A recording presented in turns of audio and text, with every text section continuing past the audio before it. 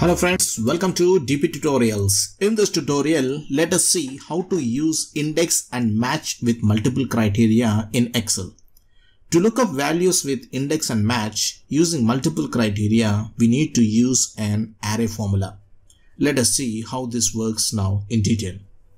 So this is our example with data in columns B, C, D, E and let us try fetching the value in cell H8 with the multiple criteria as shown in this column G and H. So let me type the formula in cell H8 as equal to index, open the bracket, give the references E4 to E13 that is the values from which we need to fetch okay comma match open the bracket 1 comma open the bracket. Now h5 is equal to select the range of the first column that is b column b4 to b13 close the bracket. Asterisk. Open the bracket. And now for the second condition.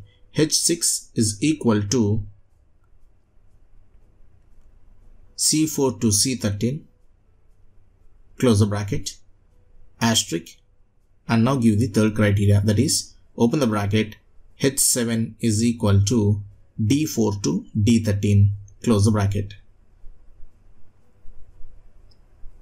Comma 0 close the bracket. Close the bracket. So this is our formula now. Now press Ctrl plus Shift plus Enter as it is an array formula.